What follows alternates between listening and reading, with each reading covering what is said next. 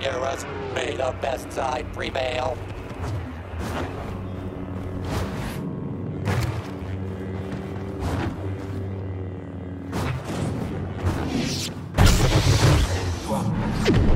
That warrior, he's master of the dark side.